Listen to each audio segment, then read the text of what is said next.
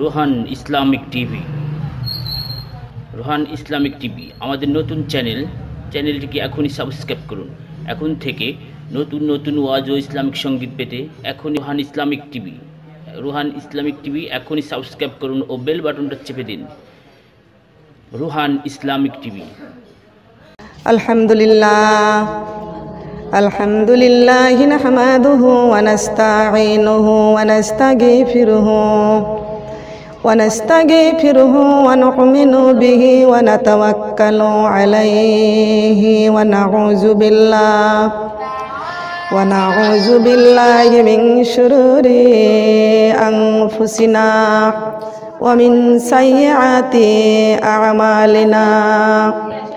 من يهدي الله فلا مضل له ومن يضلله فلا هادي له. ونشهد أن لا إله إلا الله وحده لا شريك له.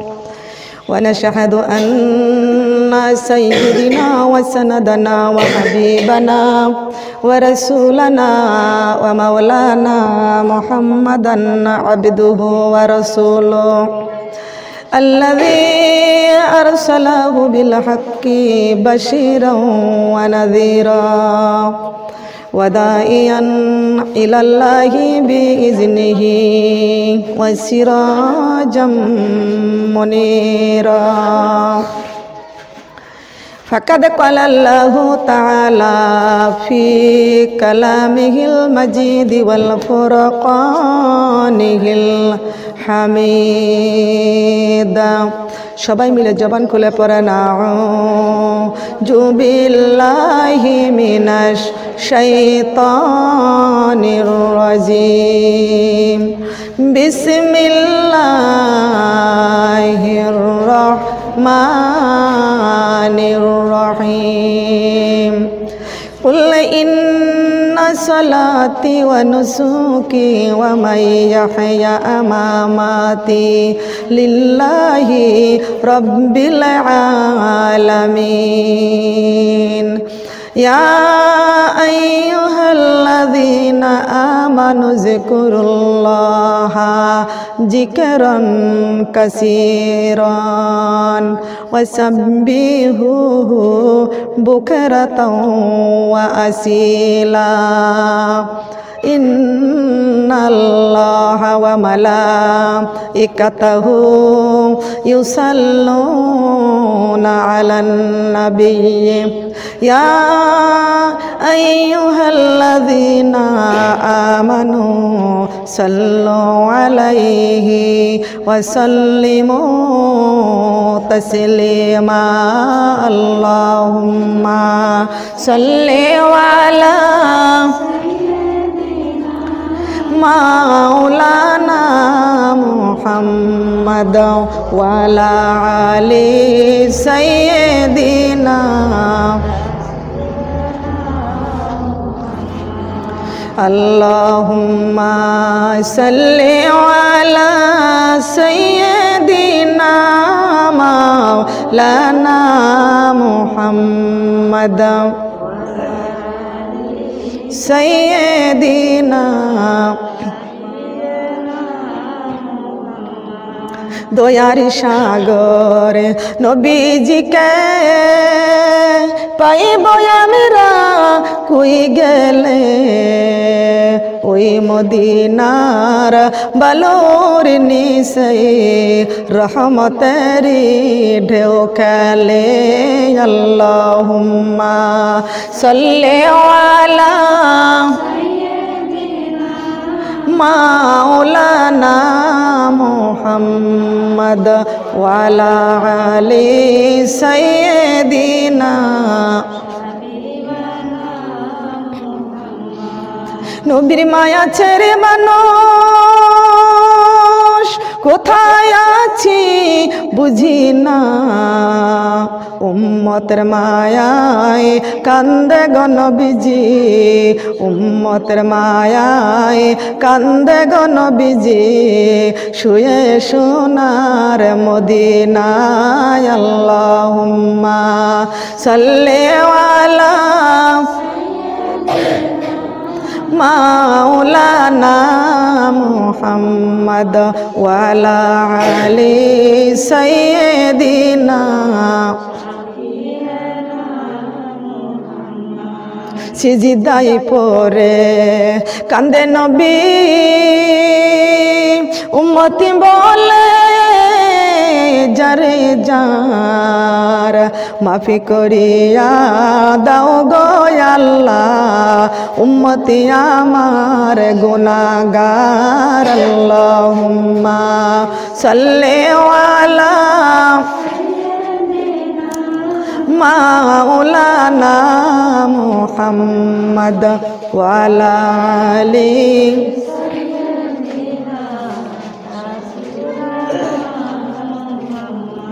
সৃষ্টিকুলের সবাই বলে আজকে আমাদের খুশির দিন।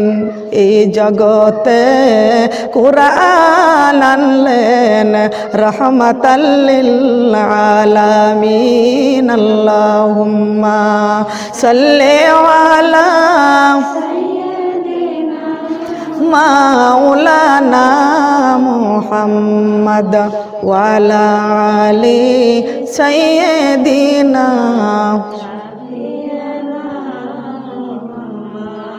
আসিমান সুন্দর, জমিন সুন্দর, আর সুন্দর দুনিয়া।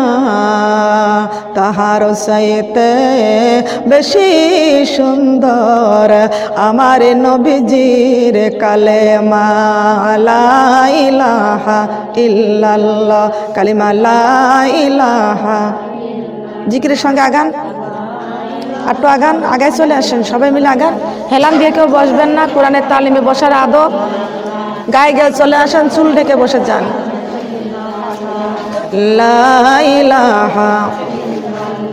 কালিমা লা ইলাহা। মাথাটা নিচু করে জিকির করবেন। কালিমা লা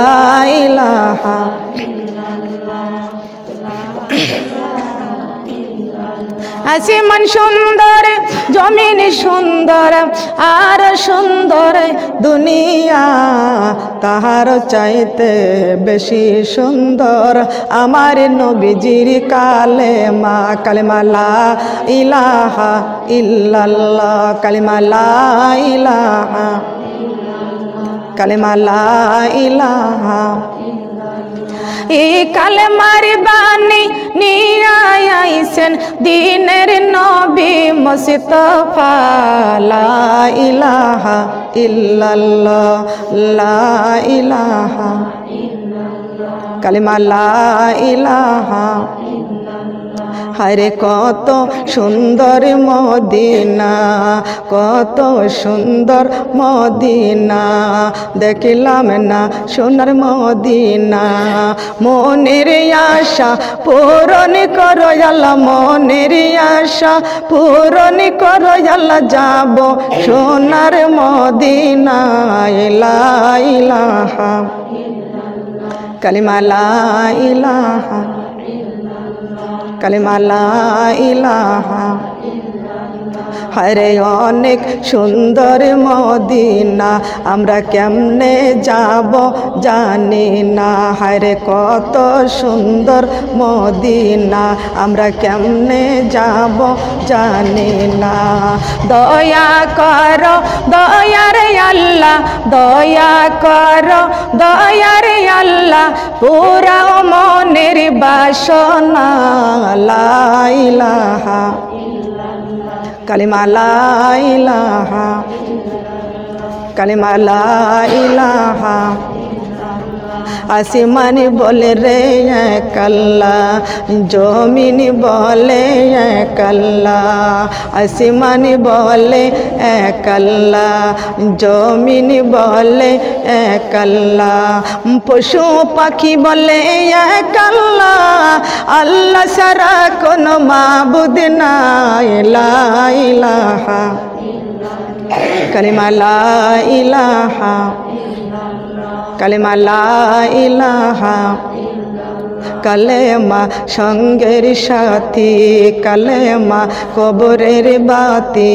কালেমা সঙ্গের সাথী, কালেমা কবরের বাতি, পর কালেমা দিন রাতি, কালেমা চারা নাই কোন গতি লাইলাহা ইল্লাল্লাহ লাইলাহা আমার নবীর নৌকা খানি, কালেমা দিয়া সাজাইছে পড়লা ইলাহা। কালিমা লা ইলাহা। ধীরে ধীরে চালো নৌকা, আমি যাব সোনার মদিনায়। লা ইলাহা ইল্লাল্লাহ, লা এক আর কোরআনের বাণী মানো নাই তুমি কালেমার বাণী মানো নাই তুমি নবীর নৌকায় নাই লা ইলাহা ইল্লাল্লাহ লা ইলাহা কালিমা লা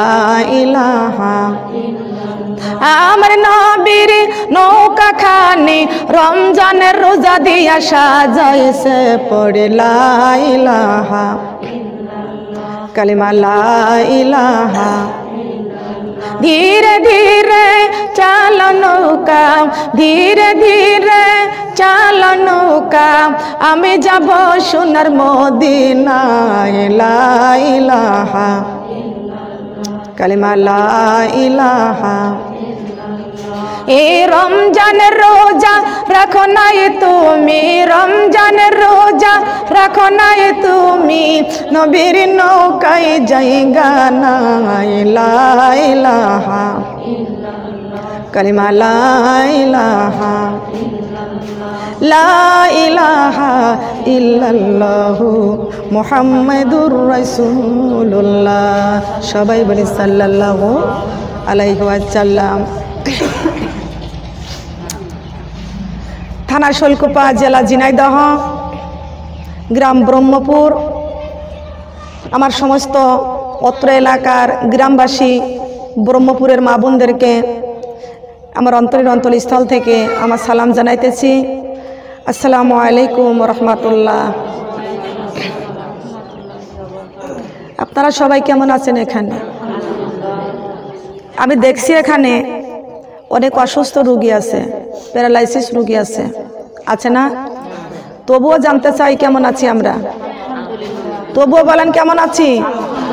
একটু জবান খুলে পড়েন, কেমন আছি? আলহামদুলিল্লাহ।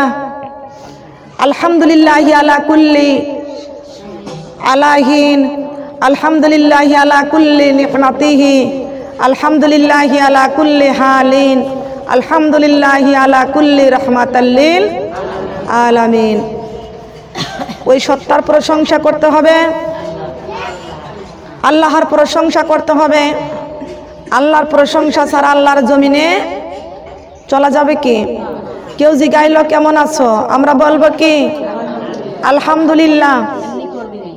আমাদের একটা সাইড যদি চলেও যায়, তবু এই দেহে প্রাণ দিয়েছেন কে? যতক্ষণ পর্যন্ত কথা বলতে পারব, যতক্ষণ পর্যন্ত আমাদের জবান দিয়ে কথা বলতে পারব, চক্ষু দিয়ে তাম পৃথিবী দেখতে পারব, ততক্ষণ পর্যন্ত আল্লাহর প্রশংসা আমরা কখনো ভুলবো না।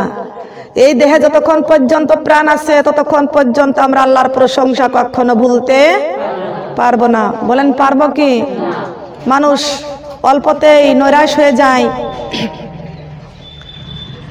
অল্পতে নৈরাশ হয়ে যায়, ভয় পেয়ে যায়। তার কারণ, মহান আল্লাহ পাক রব্বুল আলমিন পৃথিবীর জমিনে বান্দাকে পাঠাই দিয়েছেন, বান্দা, তোমাদের কঠিন পরীক্ষা আছে। এই কঠিন পরীক্ষায় যদি পাশ করতে পারো এ প্লাস জিপিও ফাইভ দুনিয়াতে যেমন পরীক্ষায় যেমন জিপিও ফাইভ পাইলে সন্তান জিপিও ফাইভ পায় মা বাবা অনেক খুশি হয়ে যায়। ঠিক কি না? তারপরে সংসার সবাই করে, ঠিক কি না? রোল নাম্বার যদি ভালো হয়, সবাই বেজার হয় না খুশি হয়? বলেন? তবে যে ব্যক্তির সন্তান ফেল করে, সে কিন্তু দেখেন কান্দে। আর যার সন্তান জিপিও ফাইভ পায়, সে কিন্তু আনন্দ করে, ঠিক কিনা বলেন? আবার কি করে? মিষ্টি বিতরণ করে করে কি করে না? আনন্দের চোটে মিষ্টি বিতরণ করে। দুনিয়ার পরীক্ষা কোনো পরীক্ষা নয়, এটা দুনিয়ার বাহাদুরি। দুনিয়াতে চলবেন, দুনিয়াতে চলা চলাফেরা মানুষের ভালো কথা। পাওয়া যাবে, মানুষ প্রশংসা করবে যে অমকের মেয়ে কি অমকের ছেলে। জিপিও ফাইভ পাইছে, অনেক মেধা। কিন্তু সেই মেধাটা যে কে দিয়েছে? বলেন? যেই মেধা আল্লাহ দিয়েছেন, আমাকে অনেকে বলে, আপু, আপনার আমরা অনেক প্রশংসা করি। আমি বলি, আমার প্রশংসা করবেন না। প্রশংসা করতে হবে সেই সত্তার যে আল্লাহর, যিনি আমাকে জ্ঞান দান করেছেন। বলেন সুবাহান আল্লাহ আমি যখন ঢাকাতে যাই, তখন দেখি, কত মানুষের হাত নাই, পাও নাই, চক্ষু নাই, গড়াগড়ি দিয়ে পড়ে আছে। কিন্তু ওই সত্তার ওই আল্লাহর প্রশংসা করতে হবে। যিনি আমাদের ওদের মতো ল্যাংরা খুরা করে রাস্তায় ফেলে রাখে নাই, যে মহান আল্লাহ পাক রব্বুল আলামিন আমার চোখের দৃষ্টি দিয়েছেন, দুটো হাত দিয়েছেন, দুটো পা দিয়েছেন, আমরা আল্লাহর রাস্তায় চলতে পারতেছি, আল্লাহর গুণগান করতে পারতেছি, আমাদের স্বামী সন্তানকে নিয়ে সংসার করতে পারতেছি, এই জন্য আল্লাহ আমরা প্রশংসা করব একমাত্র আল্লাহর বলেন সুবাহান আল্লাহ সামান্য একটু কি হলো না হলো, একটু মাথা ব্যথা হলো, এর জন্য আপনি বলবেন না আল্লাহ, এত নামাজ পড়ি, এত কোরআন তেলাওয়াত করি, তবুও তুমি আমার বালা মুসিবত এত কেন দাও? আল্লাহ পাক রব্বুল আলামিন বলেছেন, যার মাথা ব্যথা হয়, যার পেটে ব্যথা হয়, ওই ব্যক্তি আল্লাহকে আরও বেশি ডাকে। কথা বলেন ঠিক কিনা?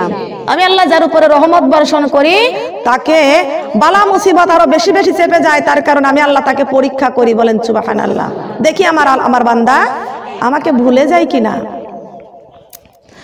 আল্লাহ পাক রব্বুল আলামিন ডাক দিয়ে বলেছেন, রে আমার বান্দা, তোমাদের জীবনের মালিক আমি আল্লাহ, তোমাদের মৃত্যুর মালিক আমি আল্লাহ, তোমার হায়াতের মালিক আমি আল্লাহ, তোমার রিজিকের মালিক আমি, তোমার জীবন দিয়েছি আমি।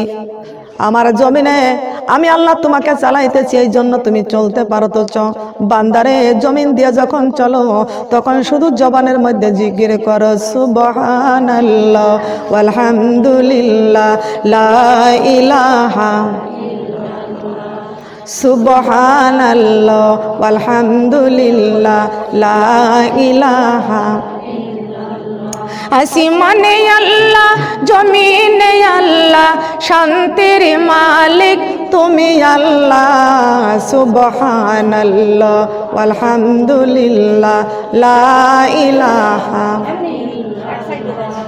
সুবহানাল্লাহ আলহামদুলিল্লাহ আমার হায়াতে আল্লাহ, মতে আল্লাহ, শান্তির মালিক তুমি আল্লাহ, সুবহানাল্লাহ আলহামদুলিল্লাহ লা ইলাহা সুবহানাল্লাহ আলহামদুলিল্লাহ লা ইলাহা মুহাম্মাদুর রাসূলুল্লাহ। সবাই কন, সাল্লাল্লাহু আলাইহি ওয়াসাল্লাম। ও মা বোনরা, কান লাগানে খেয়াল করে শুনুন। অন্তরের মধ্যে শুধু ভালোবাসা একমাত্র আল্লাহর ভালোবাসা থাকবে। আর আল্লাহর ভালোবাসা নিয়ে যদি আল্লাহর জমিনে চলতে পারি, আমার আল্লাহ কয়, বান্দারে, তোমার জন্য সর্বক্ষণ আমার রহমতের দরজা খোলা। আকাশের মধ্যে আসমানের মধ্যে আমার রহমতের দরজা আছে। ইমানদারের জন্য একটি দরজা রেখে দিয়েছি। সেই দরজা দিয়ে ইমানদারের রিজিক বন্টন হয় বলেন, সুবাহানাল্লাহ। আর আমার ইমানদার যে আমল করবে, ওই আমলগুলো আমি আল্লাহ পাকের আল্লাহ পাকের দরবারে আরস মহল্লায় পৌঁছে যাওয়ার জন্য, আমি আল্লাহ পাক রব্বুল আলমিন আমার বান্দার নেক আমল পৌঁছানোর জন্য আমি আর একটা দরজা করে রেখে দিয়েছি।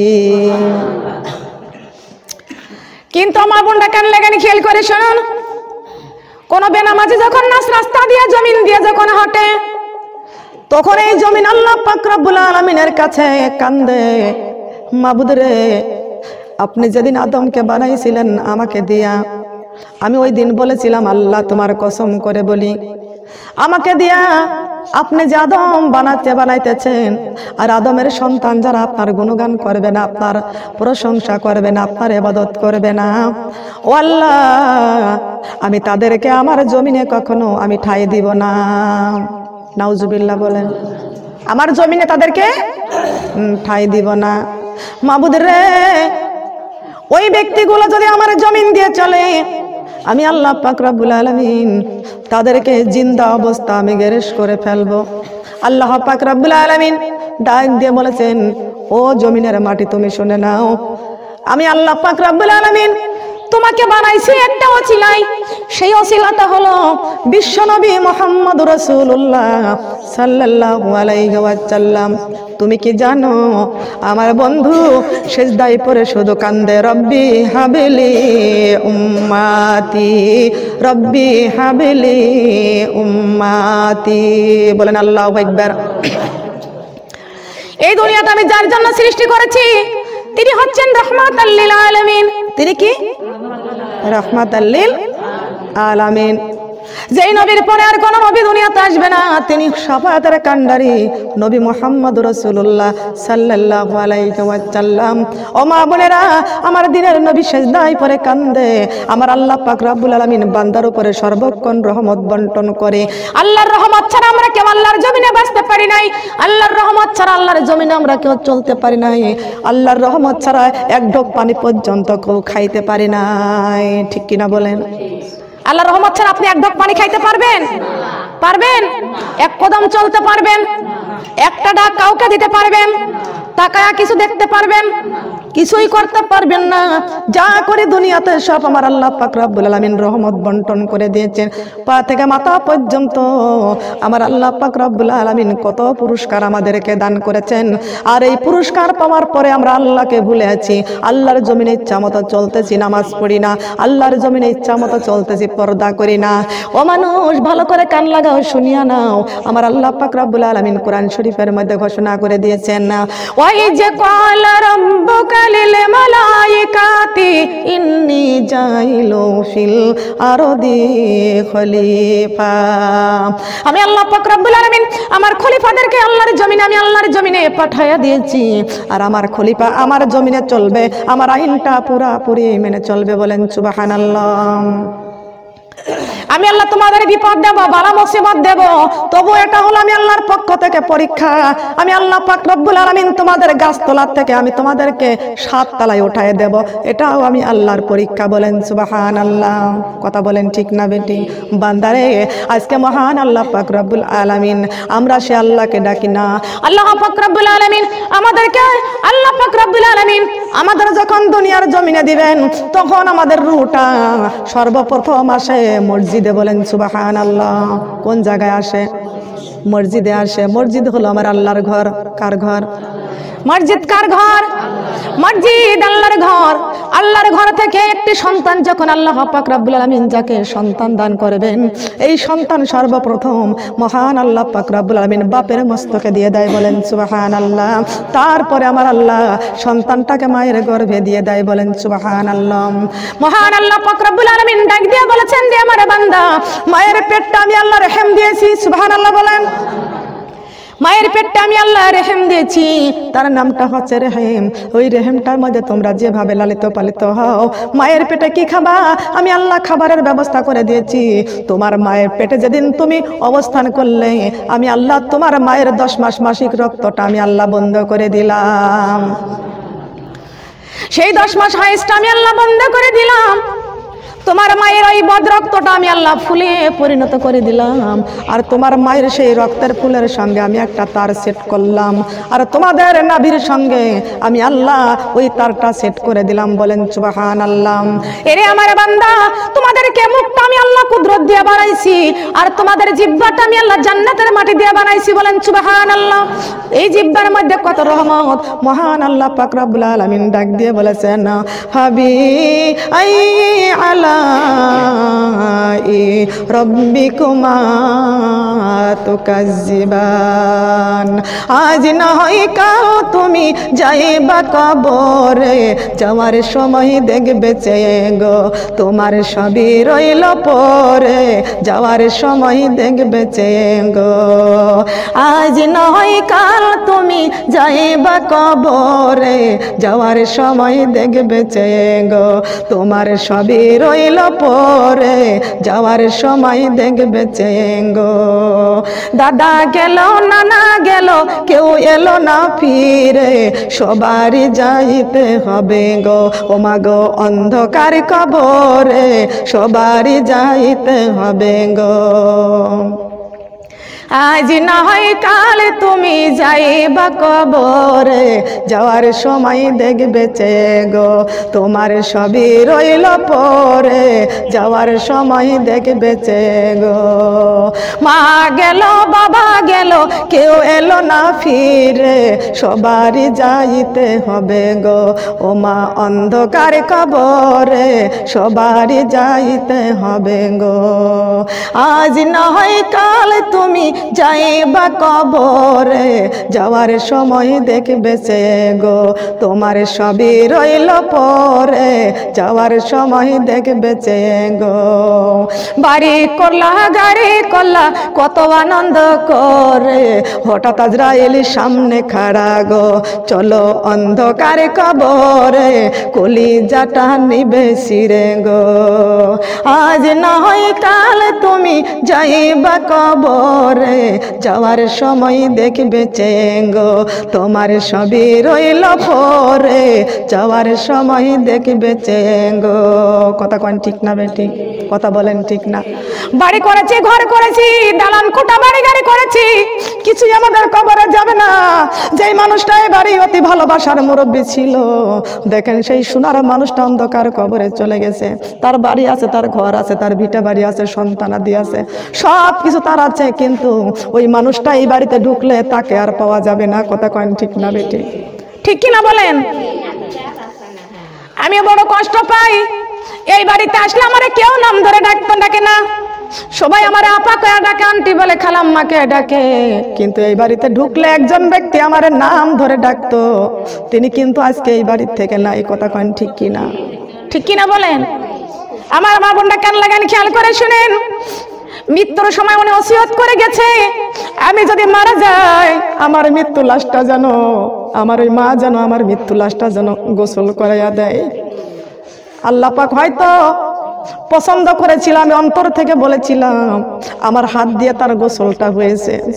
আল্লাহ কিন্তু আমার মা বোনটা কান লাগালে খেয়াল করে শুনুন যাকে আপনি শেষবারের মতো গোসল করাইয়া দিবেন, যাকে শেষবারের মতো কাফন পরাইয়া দিবেন, মুদ্রা ব্যক্তিকে যখন আপনি গোসল করাবেন, তখন আপনি স্মরণ করবেন আপনার নিজের কথা, ঠিক কিনা বলেন? আপনি স্মরণ করবেন আপনার নিজের কথা? আজকে আমার হাত দিয়ে একটা মুর্দাকে গোসল করাইতেছি।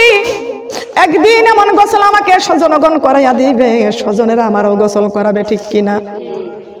মা বোনেরা গো যখন আপনি মুর্দাকে খাটের মধ্যে বহন করে খাটিয়ার মধ্যে শুয়াইয়া আপনি যখন মুর্দার পা থেকে মাথা পর্যন্ত তিনটা বান্ধা দেবেন ওই সময় আপনি স্মরণ করবেন আল্লাহ আমি যে নিজের হাতে তাকে কাফনের কাপড় দিয়ে প্যাকেট করে তিনটা বান্ধা দিয়ে দিলাম এমন বান্ধা আমার শরীরেও হয়ে যাবে ঠিক কিনা বলেন?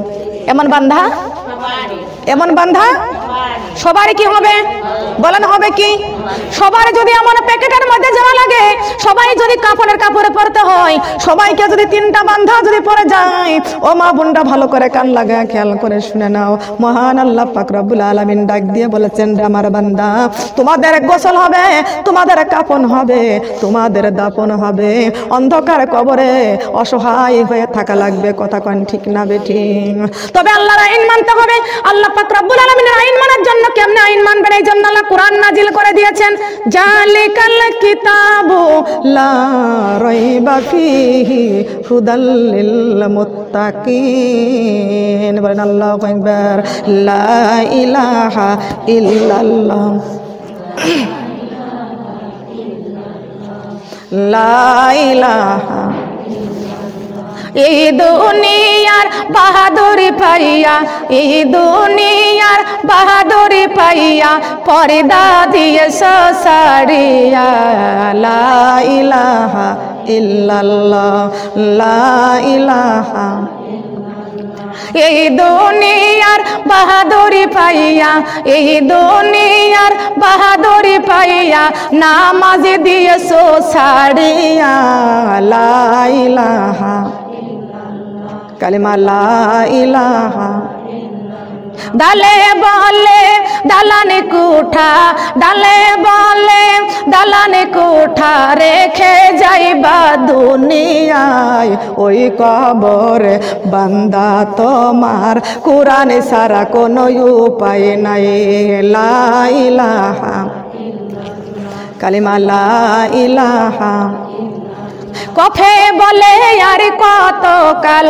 কফে বলে, আর কতকাল? তুমি থাকবারে বান্দা বিল্ডিং এ ময়রা গেলে বান্দা দিয়া ফালাই দিবে কবরে। কালিমালা ইলাহা কালিমালা ইলাহা কালিমালা ইলাহা ফায়ে বলে, ফানা ফিন্না, ফায়ে বলে, ফানা ফিন্না, হইলে শোনো মুসলমান, তাহা হইলে জ্বলতে হবে। অন্ধকার ওই কবরে কালিমালা ইলাহা ইল্লাল্লাহ কালিমালা ইলাহা কালিমালা ইলাহা লা ইলাহা আপনাদের শব্দ নাই। একদমই স্তম্ভ হয়ে যাচ্ছেন। কষ্ট পাচ্ছেন নাকি জিকির করতে? কষ্ট পাচ্ছেন? আপনাদের কষ্ট হচ্ছে? আপনাদের যদি কষ্ট হয়, তাহলে আমি মাসের পর মাস আমি ওয়াজে থেকে, তাহলে আমার কত কষ্ট হতে পারে? আমার তো প্রোগ্রাম তো একদিনও তো বাদ নাই। আমি তো আপনাদের সামনে আল্লাহ পাক আমাকে নিয়ে আইছেন। এই প্রশংসাটা একমাত্র আল্লাহর। আপনারা হয়তো মনে করেছেন আপনাদেরকে ভুলে যাচ্ছি না। আপনাদেরকে ভুলি নাই। আপনারা দাওয়াত দিলে আমি আমার সময়ের অভাবে আমি দাওয়াত নিতে পারতেছি না। এই জন্য আমি দাওয়াত নিতে পারতেছি না, আমার সময় একেবারেই নাই। মাসের পর মাস দাড়িটা একদম বুক হয়ে যাচ্ছে। তারপরও মাঝখান থেকে, বাইরের থেকে অনেক দাওয়াতের চাপাচাপ আসছে। আপা, একটা দাওয়াত আমাকে নেন। আর কারোরটা নেন আর না নেন, আমার দাওয়াতটা নেন আপনি। আমি বলে, কারটা বাদ দিতে পারব? কারোরটা বাদ দিতে পারব? এই জন্য আমার অত্র এলাকার দাওয়াত আমি নিতে পারতেছি না এই জন্য মা বোনরা। আপনারা কেউ বেজার হয়েন না হয়তো বা আমি রমজান মাসে আমার দূরেও ডাকছে, আমার রমজান মাসে আমার রাঙ্গামাটিতে ডাকছে। যে আপা, আপনাকে রাঙ্গামাটি আনতে চাই। তা আমার মনে হয় রমজান মাসে আমার বাইরে যাওয়া হবে না। তবে যারা মাহফিলের জন্য ব্যবস্থা যদি করতে চান, তো আমার অত্র এলাকার মধ্যে আপনারা রমজান মাসের জন্য সময়টা রেখে দেন। রমজান মাসের আগে আমি ডেট করতে পারতেছি না। আমি নিজেও দুর্বল হয়ে গেছি। তারপরও রমজান মাসে আর একজন আমার আর একটা আপা উনি চট্টগ্রাম রাঙ্গামাটি। জায়গাটার নাম হচ্ছে কাপ্তাইল। সেখানে রমজানে নেওয়ার জন্য আমার চেষ্টা করতেছে। আমি অত দূরে যাব কীভাবে? চট্টগ্রাম যাইতে রাঙ্গামাটি যাইতে দুই দিন সময় লাগে। একেবারে ফুল দুই দিন লাগে। তো রমজান মাসে যাওয়ার সময় হবে না। আমি তো এই মাসে ডেট করতে পারতেছি না। এই মাসে তো আমার ডেটই করতে পারতেছি না। মার্চ মাসে আমি খালি কালকের দিনটা আসি মা বাড়িতে তারপরে আমি চলে যাব। আসুন আল্লাহর দিনের পথে কোরআনের মজলিস মাত্র কয়দিন থাকব?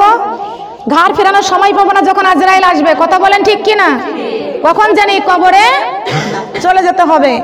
কবরের ডাক চলে আসবে। চিনে বলে সতরি ঢাকো। কাপড় দিয়া মুসলমান, তা না হইলে জ্বলতে হইবে জাহান নামের আগুনে।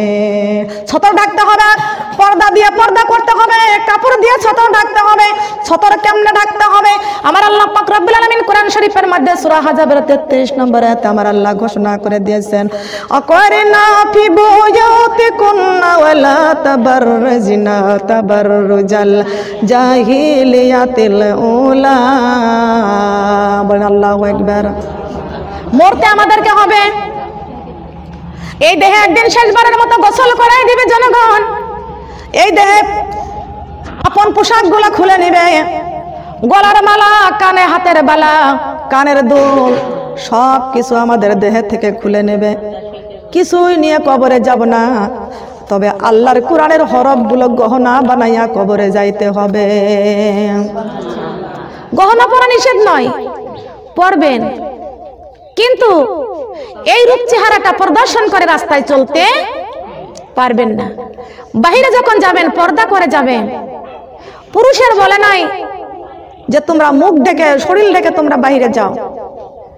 পুরুষের ক্ষেত্রে নারীদেরকে পর্দার কঠোর আল্লাহ পাক আইন করে দিয়েছেন। কথা বলেন ঠিক কি না আজকে আমরা সেই নারী, আজকে সেই নারী পর্দা করতে চাই না। পর্দা না করলে তো অবশ্যই জাহান নামে যাওয়া লাগবে, ঠিক কি না বলেন? তো পর্দা না করে যদি জাহান নামে যায়, তাহলে জাহান নামটা আমরা নিজেরাই কামাই করলাম, ঠিক কি না আমি যেখানে মাহফিলে গেলাম, ঢাকাতে প্রোগ্রাম ছিল, ওখানে কিছু কিছু মহিলারা বলে মনের পর্দা বড় পর্দা, উপরের পর্দার দরকার নাই। মনের পর্দা কি বড় পর্দা? বলেন, আপনি মনে মনে খেয়ে নেবেন, পেট ভরবে? বলেন, পেট ভরবে? চোখ দিয়ে দেখবেন আর বলবেন যে খাইছি। খাওয়া হবে?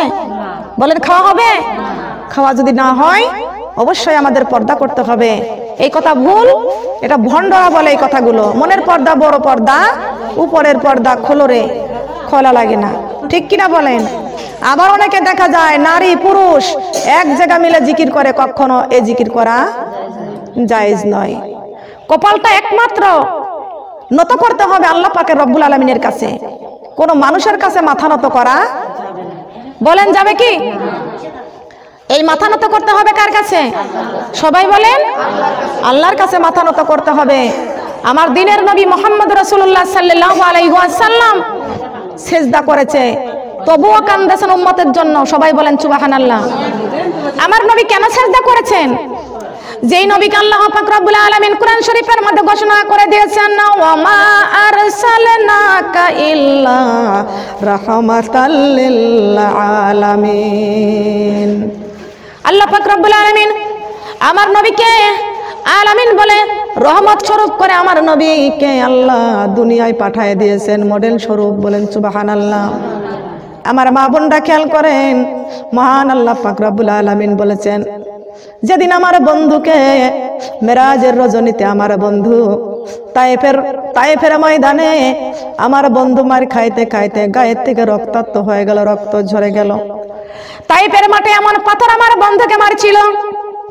তাইফের যুবকেরা আমার বন্ধুর গায়ের মধ্যে সমস্ত পাথরের টুকরাগুলো আমার বন্ধুর গায়ে দাগ পড়ে গিয়েছিল। মাইশা রাদি আল্লাহ তালানহা বিশ্ব নবীর গোসলের দায়িত্বটা নিলেন বলেন সুবাহান আল্লাহ আমার নবী একসঙ্গে আটজন বিবির সংসার করতেছিল। আমার নবী আটজন বিবিকে ডাক দিয়ে কয়, ও বিবিরা, আমার খেদমতের দায়িত্বটা আজকে তোমাদের বন্টন করে দিতে চাই, আমি ভাগ করে দিতে চাই।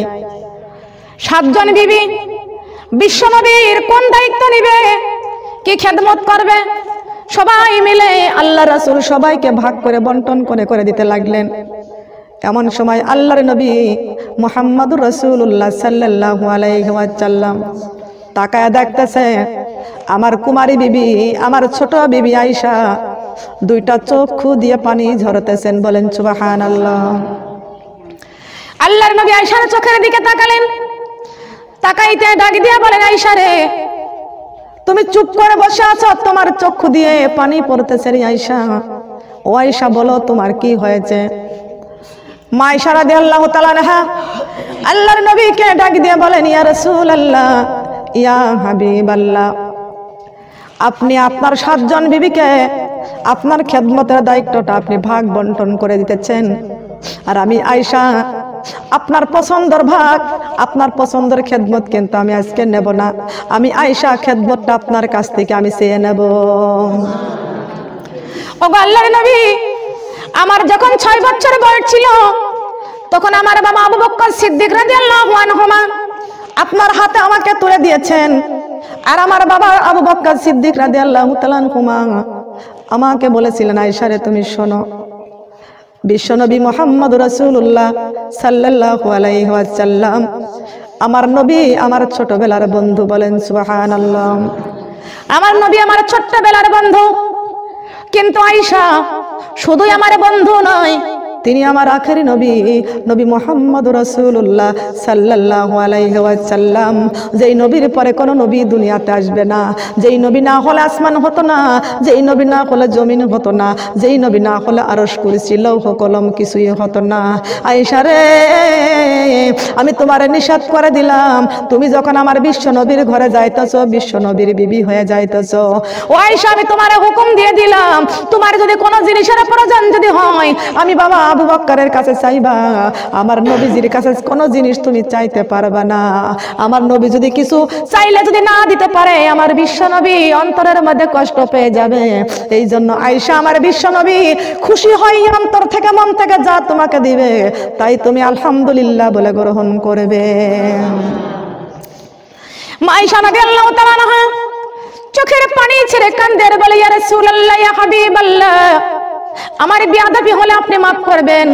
আমার বাবা আবু বক্কর সিদ্দিক রাদিয়াল্লাহু তাআলা আনহুমা আমাকে এই হুকুমটাই শাসনটা আমার বাবা আমাকে করে দিয়েছিল। এখনকার মেয়েরা কিন্তু বাবা মা শাসন করলে কিন্তু শাসন মানে না। মানবে কি বলেন? সংসার করব আমি আর বাবা কেন উপদেশ দেয়? ঠিক কিনা বলেন? মা বাবার কথা কেউ মানে না শোনে না। সংসার করব কি আমি না মা বাবা? অবশ্যই, যতই আমি সংসার করি, তবে মা বাবার শিক্ষা সন্তানকে অবশ্যই মানা লাগবে। কথা বলেন ঠিক কিনা? যত কষ্টই হোক স্বামীর বাড়িতে, মা বাবা যদি বলে, মা, তুমি ওই বাড়িতেই থাকবা, ধৈর্য ধারণ করো, আমরা আছি আল্লাহর কাছে দোয়া চাইব। পাঁচ দিন, দশ দিন, এক মাস, ছয় মাস পরে হলো মা বাবার দোয়া আল্লাহর দরবারে কবুল হয়ে যাবে। আপনাকে স্বামীর বাড়িতে আল্লাহ শান্তি ফিরাই দেবে বলেন সুবাহান আল্লাহ দোয়া ছাড়া ভাগ্যের চাকা ঘোরে না, ঠিক কি না মা বাবার কাছ থেকে দোয়া নিতে হবে। মা বাবার দোয়া। তাম পৃথিবীর পীর সাহেব দোয়া করবে একদিকে আর মা বাবা দোয়া করবে একদিকে। সবার দোয়া ফসকে যাবে, এড়িয়ে যাবে, কিন্তু মা বাবার দোয়া কখনো সরে যাবে না। কথা বলেন সুবাহান আল্লাহ রাইফেলের গুলি মিস হয়, কিন্তু মা বাবার দোয়া মিস বলেন, হয় কি? হবে না। খেয়াল করুন, তবে মুসাফিরের দোয়া কবুল হবে। হান্ড্রেড পার্সেন্ট আল্লাহ বলেছেন সুবাহান আল্লাহ মুসাফিরের দোয়া কবুল হবে। আলেমদের দোয়া কবুল হয়। এই ক্ষেত্রে আল্লাহ আকবর রাবুল আলমিন বলেছেন, অনেক মানুষ পীরপন্থী ধরে বাপ মাকে ভুলে গেছে। ঠিক কিনা নিজের বাবাকে বাবা বলে না, নিজের মাকে মা বলে না, কিন্তু পীর মাকে মা বলে ডাকে। নিজের মাকে পরিচয় দেয় না, কিন্তু পীর মাকে পীর মার কাছে যায়। কথা বলেন ঠিক কিনা এইগুলো কি পীর মা? যেই মা আমাকে পেটে ধারণ করেছে, বুকের দুগ্ধপান করেছে, প্রসব পায়খানা, দুই হাতে নাড়াচাড়া করেছে, মায়ের কোনো ঘৃণা করে নাই। যেই মা রাত জেগে জেগে শীতের রাত একটা সন্তান যখন ক্রন্দন করেছে, ওই মা তখন কি করেছে? সন্তানকে নিয়ে রাস্তায় রাস্তায় এবারই সেবারই ঘুরে বেড়াইছে। কথা বলেন ঠিক কিনা? কথা বলেন ঠিক কিনা? ওয়ালালি সাইয়েদিনা এসো সবাই, দরদি পরে খুশি করে নবীকে। রোজ হাসরে নবী জীবিনে রহমত করিবেন কে? আল্লাহুম্মা সাল্লি আলা মাওলানা মুহাম্মদ ওয়ালা আলি সাইয়্যিদিনা আল্লাহ তুমি রহমি কর, নসিবি কর মদিনা। নবীজিকে না দেখাইয়া অন্ধকারে কবরে নিয় না আল্লাহুম্মা। সাল্লি আলা মাওলানা মুহাম্মদ ওয়ালা আলি সাইয়্যিদিনা ইনা কঠিনী মরুর দেশে আমার নবী আসিল মানব বেশে ইনা কঠিনী মরুর বেশে এনা কঠিনী মরুর দেশে আমার নবী আসিল মানব কোন সাধনে পাইল আমি না? দয়ার নবীজি, আপনাকে দেখিবার মনে চাই আল্লাহুম্মা। সাল্লি আলা মাওলানা মুহাম্মদ ওয়ালা আলি সাইয়্যিদিনা সাল্লাল্লাহু ভালো করে খেয়াল করে শুনে রাখেন। মহান আল্লাহ মায়ের পেটে যে সন্তানটাকে দিয়েছেন, ওই সন্তানটাকে কীভাবে আল্লাহ পাক আলামিন লালন পালন করতেছেন? আমার আল্লাহ পাক আলামিন ডাক দিয়ে বলেছেন, আমার বান্দা, মায়ের পেটে যে সন্তানের খাবারের সরবরাহের ব্যবস্থা পৃথিবীর কোনো ডাক্তার কখনো করাইতে পারবে না। পারবে? বলেন, পারবে কি? মায়ের পেটে সন্তান কি আছে? ছেলে আছে কি মেয়ে আছে? ডাক্তার বলে দেয়, কিন্তু ওই সন্তানের কপালে কি আছে? ভাগ্য কি আছে? পৃথিবীর কোনো ডাক্তার বলতে পারে না। বলেন, পারে কি? পারবে? পৃথিবীর কোনো ডাক্তার বলতে পারে না। যেই ডাক্তার বলতে পারে, এই ভাগ্যের মালিক যিনি আল্লাহ, আমাদের সৃষ্টির মালিক যিনি আল্লাহ সেই আল্লাহ আমাদের বলতে পারবেন, বলেন সুবাহান আল্লাহ পৃথিবীর সব চাইতে বড় ডাক্তার তিনি হচ্ছেন আমার আল্লাহ, বলেন সুবাহান আল্লাহ অনেক মা বোনেরা বলে, আপা, আমি দাঁড়ায় নামাজ পড়তে পারি না, বসে নামাজ পড়তে পারি নাই। ডাক্তার আমাকে সিয়ার দিয়েছে। কি দিয়েছে? আমি বললাম, ডাক্তার আমাকে আপনাকে চেয়ার দিয়েছে তাই বলে, আপনি কি চেয়ারে বসে নামাজ পড়বেন? আপনার শরীরটা কেমন আছে? আমার আল্লাহ পাক রব্বুল আলমিনের কিন্তু জানতে বাকি নাই, ঠিক কিনা বলেন? তার কারণ আপনার মনের কথাটা আমার আল্লাহ পাক রব্বুল আলমিন জানে, ক জানে কি জানে না? বলেন, জানে কি জানে না? আল্লাহ পাক রব্বুল আলমিন বলেছেন, আল্লাহু লা ইলাহা বলেন, আল্লাহু আকবার। আমি আল্লাহ চিরঞ্জীব। আমি আল্লাহ আমি আল্লাহ ছাড়া কোনো মাবুদ নাই, আমি আল্লাহ চিরঞ্জীব। আল্লাহর কখনো মরণ আছে নাকি? আল্লাহ মৃত্যুবরণ করবে?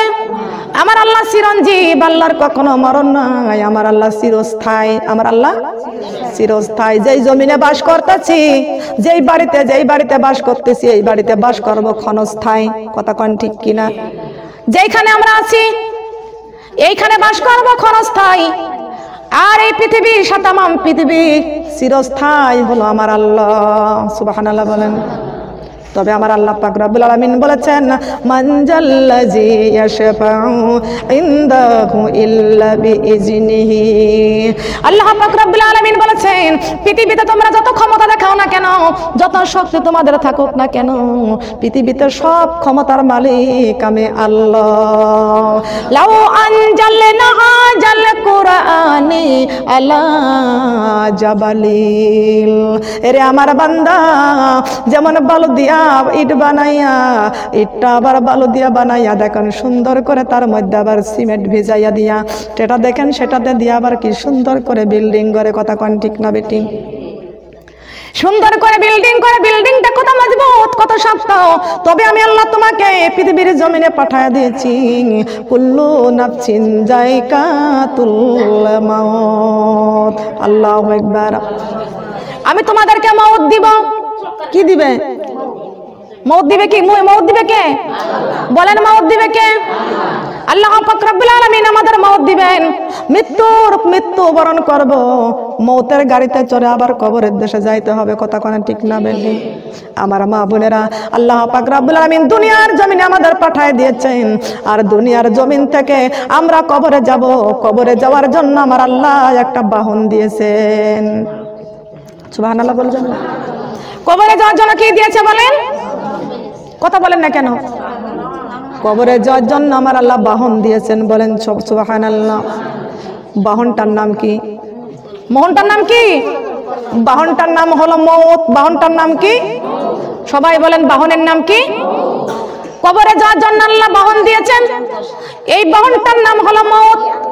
মৌতের গাড়িতে চড়ে কবরের দেশে যাইতে হয়। সুবাহান আল্লাহ কন। মৌতের গাড়িতে চড়ে কবরের দেশে যাইতে হয়। এই মৌতের গাড়িতে সবাইকে ওটা লাগবে কি লাগবে না? বলেন, লাগবে কি লাগবে না? মৌতের গাড়িতে চড়ে কবরের দেশে যাইতে হয় আমার দিনের নবী মোহাম্মদ আলাইহি ওয়াসাল্লাম ডাক দিয়ে বলেছেন রে আমার উম্মতেরা, বিশ্ব নবীর ভালোবাসা যদি তোমাদের অন্তরে থাকে, আর আমি বিশ্ব নবী তোমাদের কাছে কোরআন শরীফ রেখে গেলাম। এই কোরআনটা যদি তোমাদের জীবনে, মরণে যদি এই কোরআনটা যদি ধরে রাখতে পারো, আমি রাসূল তোমাদের মৃত্যুর পাশে থাকব বলেন সুবহানাল্লাহ। এরে আমার বান্দা, যখন তোমরা কবরে চলে যাবা মৌতের গাড়িতে চলে যখন তুমি কবরে চলে যাবা, কবরে যাওয়ার সময় তোমার গ্রামবাসীরা চারজন মিলে তোমার কান্দে করে কান্দে করে নিয়ে তোমার বহন করে নিয়ে চলে যাবে কবরের দেশে। আর তোমার ছেলে, তোমার মেয়ে, তোমার মা, তোমার বাবা, তোমার আপন আত্মীয় স্বজন, পিছনে পিছনে সবাই চিল্লাইয়া চিল্লাইয়া কান্দতে কান্দতে পিছনে চলে যাবে। কথা কন ঠিক না বেটি? ঠিক কিনা বলেন? মেয়েরা দেখবেন কয় কদম হাঁটে, মার পিছনে পিছনে যায়। মায়ের লাশের পিছনে যায়। হাই মা, হাই বাবা বলে যখন চিৎকার মেরে কান্দে, ওই মুদ্রা লাশ তখন চিৎকার মেরে কান্দে। ওই মুদ্রার কান্দা কখনো জিন্দারা শুনতে পারবে না। খাট বহনকারীরা যখন খাটে করে নিয়ে যায়, ওই মুর্দার সন্তানরা যখন চিৎকার দিয়ে কান্দে, মুর্দা চিৎকার দিয়ে কান্দে, ও খাট বহনকারী আমার একটু আস্তে আস্তে নিয়ে যাও। বেশি জোরে জোরে হাঁটো না। আমারে আস্তে আস্তে নিয়ে যাও। আমার ছেলে কান্দে, আমার মেয়ে কান্দে, আমার মা কান্দে, আমার বাবা কান্দে। ওই দেখো আমার মায়ের পেটের ভাই ঘরে ঘরে দিয়ে কান্দে। আমার মায়ের পেটের বোন জমিনে গড়াগড়ি দিয়ে কান্দে। আমার কলিজার টুকরা ছোট সন্তানটা জমিনের মধ্যে গড়াগড়ি দিয়ে কান্দে। আমার আস্তে আস্তে নিয়ে যাও, ওদের কান্না আমার একটু শেষবারের মতো শুনতে দাও। আল্লাহ ওই মুর্দার উপরে তিনটা ডাক পৌঁছে দিবে। এরে আমার বান্দা ওই সন্তানদের মায়া, মহব্বতে পড়িয়া। জীবনে আমি আল্লাহর জিকির করো নাই, নামাজ পড়ো নাই, কোরআন তেলাবাত করো নাই, পর্দা করো নাই। ওই সন্তানকে ভালোবাসতে যাইয়া আমি আল্লাহর আইনটাকে তোমরা লঙ্ঘন করে দিয়েছ। আল্লাহর আইন তোমরা বাদ দিয়েছ, আমার কত নাফরমানি করেছ। আজ ওই সন্তান তোমার জন্য কানবে, কিন্তু কবরে যাইতে পারবে না। পৃথিবীর কোনো মানুষ কবরে যাইতে পারবে না যাওয়ার কোনো নিয়ম আমার আল্লাহ করে নাই। আমার আল্লাহ যদি নিয়ম করত মা মারা যাবে মায়ের বড় সন্তানটা মার সঙ্গে কবরের সঙ্গিনী হয়ে যাবে। বড় সন্তান বলবে জীবনে যদি মারাত্ম সম্পদ যদি কিছু না পায় মায়ের সম্পদ থেকে যদি বঞ্চিত হয়ে যায় তবুও মায়ের সঙ্গে কবরে যাব না।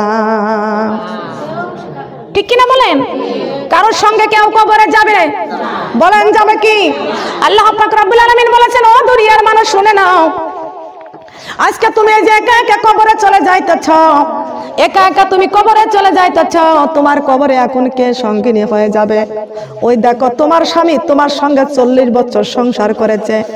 তোমার স্বামী চল্লিশ বছরের সংসারে কত মায়া হয়েছে, কত মহব্বত হয়েছে।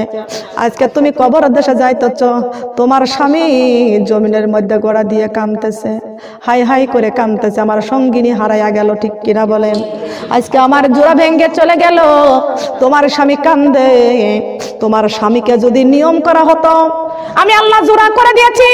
যেমন জোড়া করেছিলাম আমার আদম আলাই চাল্লাম আর হাওয়া আলাই চাল্লামকে যদি আমি আমার আদমকে যদি বলতাম, জান্নাতের মধ্যে তোমাদের দুইজনকে আমি আল্লাহ বিবাহ দিয়ে জোড়া করে দিলাম। মৃত্যুর সময় তোমরা দুইজন একসঙ্গে কবরে থাকবে। আল্লাহ কি নিয়ম করছে? ওই সময় করতো। তাহলে আমার আল্লাহ নিয়ম করলে হতো। কিন্তু আমার আল্লাহ তো নিয়ম তো করে নাই। করছে কি?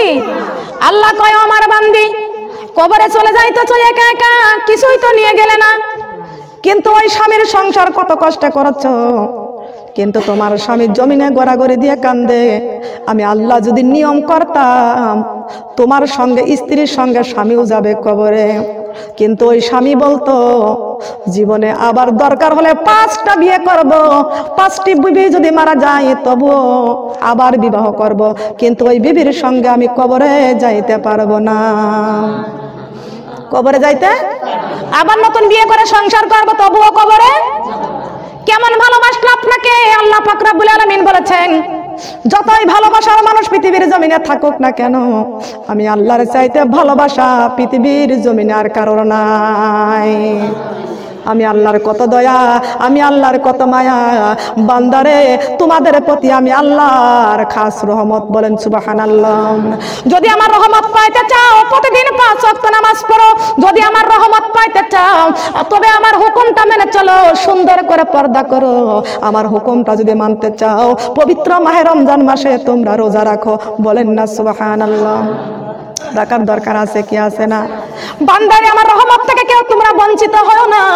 যারা আমার রহমত বঞ্চিত আমার রহমত থেকে যারা বঞ্চিত হয়ে গেছে এহকাল হারায়া ফেলেছে পরকালও হারায়া ফেলেছে। আর তাদের জন্য কঠিন শাস্তি। আল্লাহ জিনা কাফারু ওয়াসান্দু আন সাবিলিল্লাহি আদাল্লাহ আমালাহুম। যারা আমার রহমত থেকে বঞ্চিত হয়ে গেছে কুফরি যারা করেছে আমার রহমত থেকে বঞ্চিত হয়ে গেছে। যারা নামাজ পড়ে না আমার রহমত থেকে বঞ্চিত হয়ে গেছে। দেখেন একটা মাত্র খেলা, পৃথিবীর জমিনে শুরু হয়ে গেছে।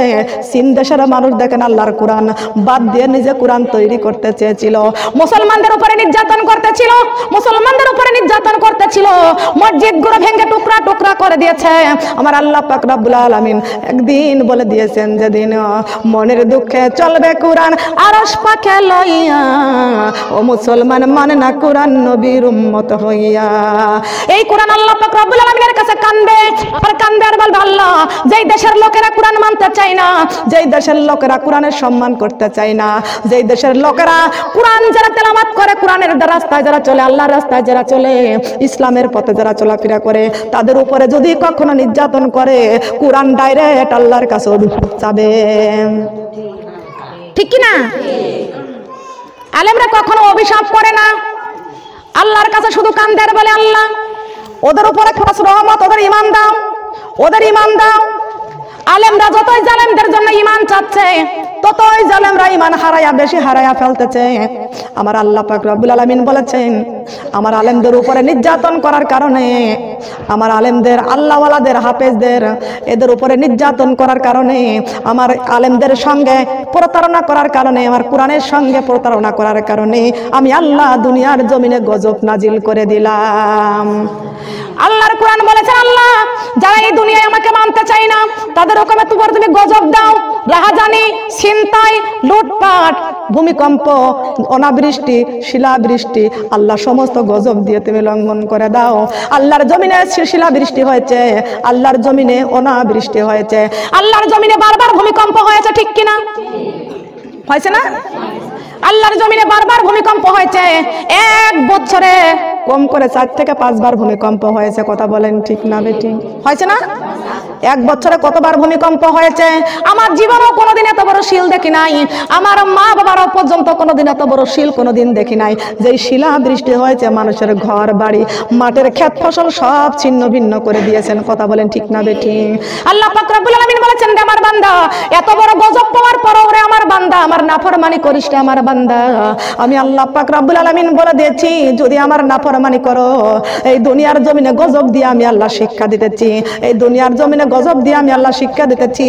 বান্দারে ফিরে আই ফিরে আই ও বান্দা, ফিরে আই আমি আল্লাহ তোমাদের উপরে খাস রহমত নাজিল করব। এই দুনিয়ার গজব বড় গজব নয়। এই দুনিয়ার গজব হলো দুই নাম্বার গজব। আর এক নাম্বার গজব আমি আল্লাহ অন্ধকার কবরে রেখে দিয়েছি। ঠিক কিনা বলেন? কথা বলেন ঠিক কিনা? আল্লাহ পাক গজব দিয়েছেন, দেখেন চীন দেশের মানুষ আল্লাহর কোরআনের সঙ্গে প্রতারণা করেছিল সঙ্গে সঙ্গে আমার আল্লাহ পাক রাব্বুল আলামিন এত বড় গজব দিয়েছেন। দেখেন ভাইরাস রোগ ঢুকায় দিয়েছে, কথা কোন ঠিক না বেঠি? কি রোগ দিয়েছে? ভাইরাস রোগ রোগ ঢুকায় দিয়েছে। এই ভাইরাস থেকে সব আক্রান্ত হয়ে গেল, কেউ আর বাঁচতে পারে নাই।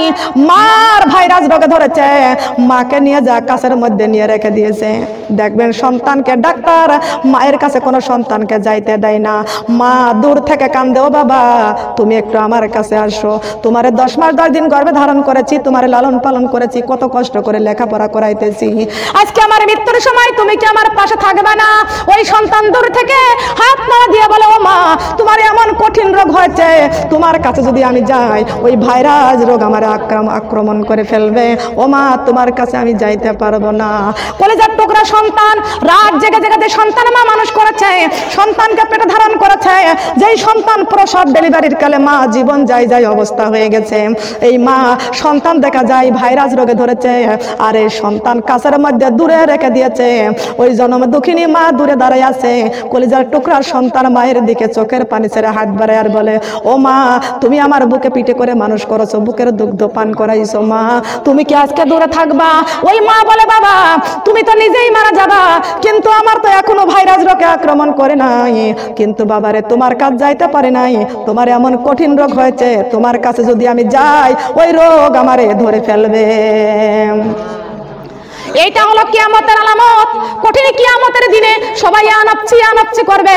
মা সন্তানকে পরিচয় দিবে না, সন্তান মা বাবাকে পরিচয় দিবে না, স্বামী স্ত্রীকে পরিচয় দিবে না। কথা বলেন ঠিক না বেটিং?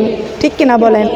আমার মা বোনেরা, ফেসবুকে দেখেছি, মালয়েশিয়া থেকে একটা ছেলে বাংলাদেশে এসেছে, কিন্তু হঠাৎ করে তাকে পুলিশে ধরে নিয়ে তাকে অ্যারেস্ট করেছে, তাকে গ্রেফতার করে ফেলেছে, আটকায় ফেলেছে। কেন তুমি বাংলাদেশে আসলা? বাংলাদেশের ফ্ল্যাট এখন বন্ধ হয়ে গেছে, ঠিক কিনা বলেন? হজ পর্যন্ত হজ যাত্রীদের যাওয়া বন্ধ হয়ে গেছে। খেয়াল করেন, লক্ষ্য করেন। ওই ছেলেটা আইছে, আসার পরে ওরা আটকায় দিছে। আটকায় দেওয়ার পর তোমার কি ভাইরাস রোগ হয়েছে? তুমি বাংলাদেশে চলে আসলে কেন তোমারে পরীক্ষা করা হবে?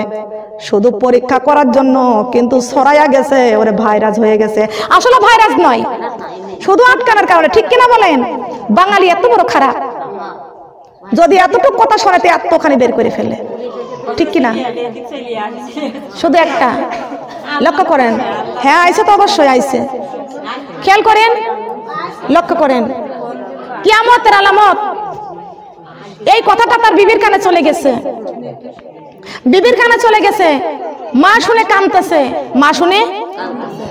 মা শুনে কানতেছে। সন্তানের ভাইরাস রোগ হয়েছে। আসলে কিন্তু হয় নাই। হয়েছে কিনা পরীক্ষা করার জন্য? তাকে এয়ারপোর্টে আটকায় দিছে। হয়েছে কিনা কিন্তু মা কানতেছে। আল্লাহর কাছে আল্লাহর কাছে দোয়া চাইতেছে, আল্লাহ, তুমি আমার বাবাকে সুস্থ করে রাখো, ভালো রাখো। কোনো বালা মুসিবত আমার বাবাকে দিও না। এমন সময় ওই মা দেখতেছে, বৌমা কাপড় চুপুর নিয়ে তার গাট্টি গুট্টি বান্দা হয়ে গেছে। মা, তুমি কোথায় যাচ্ছ? কোথায় চলে যাচ্ছ? বলে, আমার বাবার বাড়ি যাচ্ছি। কেন যাচ্ছ বাবার বাড়ি? বলে, আমি শুনছি নাকি আপনার সন্তানের ভাইরাস রোগ হয়েছে। আমি আর আপনার বাড়ি থাকব না। আপনার ছেলের সঙ্গে আমি আর থাকব না। আগেই পালাইতেছে। কিয়ামতের কঠিন দিনে স্বামী স্ত্রীর পরিচয় দিবে না। স্ত্রী স্বামীর পরিচয় দিবে না মা সন্তানকে পরিচয় দিবে না। সন্তান মাকে পরিচয় দিবে না বাবাকে পরিচয় দিবে না। কোন আত্মীয় স্বজন কেউ কারোর পরিচয় দিবে না। মা ইশারা দিয়ে আল্লাহ তালানহা আল্লাহর নবীর কাছে প্রশ্ন করলেন ইয়া রাসূল আল্লাহ ইয়া হাবিবাল্লাহ কঠিন কি আমাদের দিনে নাকি সব মানুষগুলো উলঙ্গ অবস্থায় থাকবে? কারোর পণ্যে গায়ে কোনো কাপড় থাকবে না। আল্লাহর নবী গো বড় লজ্জার কথা বড় লজ্জার কথা। যেখানে মা থাকবে বাবা থাকবে স্বামী থাকবে সন্তান থাকবে সবাই আপন আত্মীয় স্বজন গুলো থাকবে, সেখানে মানুষ উলঙ্গ অবস্থায় কেমনে থাকবে? সব তো লজ্জার কথা। আল্লাহ নবী মোহাম্মদ রাসূলুল্লাহ সাল্লাল্লাহু আলাইহি বলেছেন, আয়েশা রে, তুমি শুয়ে নাও। কিয়ামতের আলামত যখন শুরু হয়ে যাবে, কঠিন কিয়ামত যখন শুরু হয়ে যাবে, প্রত্যেকটা মানুষের, প্রত্যেকটা মানুষ তখন এই কবর থেকে উঠবে, তাদের পণ্যে কাপড় থাকবে না। কিন্তু এদের মুখ তখন মহান আল্লাহ পাক রব্বুল আলামিনের আরও সাজিমের দিকে এদের মুখ খানা চলে যাবে বলেন সুবহানাল্লাহ। আরও সাজিমে আরও সাজিমের দিকে সবার মুকুর দোকানে চেয়ে যাবে। সবাই বলবে আনাচ্ছি আনাচ্ছি ইয়া নাফসি ইয়া নাফসি ও আল্লাহ, একটু রহমত দাও, একটু রহমত দাও। আল্লাহর রহমত ছাড়া আমরা আল্লাহর জমিনে কোনো দিন বেঁচে থাকতে পারব না। বলেন পারব কি? বলেন পারব। এই কি আমাদের কঠিন দিনে আমার দিনের নবী মোহাম্মদ রসুল্লাহ সাল্লাল্লাহু আলাইহি উম্মতের জন্য সেজদায় পরে পরে কানবেন। বলেন কার জন্য কানবে? কার জন্য কানবে। নবীজি, উম্মতি উম্মতি বলে কানবে, সেজদায় পরে যাবেন। মাকামে মাহমুদের নিচে সেজদায় পরে যাবেন। আর কানবে, আল্লাহ, আমার উম্মতের উপায় কি? আমার উম্মতের উপায় কি? দিনের নবী কানবে, ওই নবীজির জন্য মহব্বত করার দরকার আছে কি আছে না? বলেন আছে কি আছে না? কেন আপনি নবীর মহব্বত করবেন না? আমার নবী আপনার জন্য কাঁদছে। আমার নবী আপনার জন্য জান্নাতের চাবি পৌঁছে দিয়ে গেছে। যেই নবীর জন্য কোরআন পাইছি, যেই নবীর জন্য জান্নাতের চাবিটা পাইছি, যেই নবীর জন্য পৃথিবীর জমিনে শান্তি পাইছি, এই নবীকে ভালোবাসার দরকার আছে কি আছে না? বলেন, আছে কি আছে না? আমার দিনের নবী কান্দেন শুইয়া মদিনার ওই দেশের থাকতো যদি আমার পাখা যাইতাম উইরা উইরা রে। থাকতো যদি আমার পাখা, যাইতাম আমার দিনের নবী কান্দেন শুইয়া মদিনার ওই দেশে রে। থাকতো যদি আমার পাখা, যাইতাম উইরা উইরা রে। থাকতো যদি আমার পাখা চাঁদের গায়ে দাগে রয়েছে সূর্যের কপালে পোড়া। আমার দয়ার নবীর গায়ে দেখো শুধুই নূরের তোরা। সুবাহ বলেন। চাঁদের গায়ে দাগে রয়েছে, সূর্যের কপালে পোড়া। আমার দয়ার নবীর গায়ে দেখো, শুধুই নূরের তোরা। ওই দিনের নবীর দেশে আমি, দিনের নবীর দেশে আমি যাব কেমন করিয়া রে? থাকতো যদি আমার পাখা, যাইতাম উইরা উইরা রে। থাকতো যদি আমার পাখা।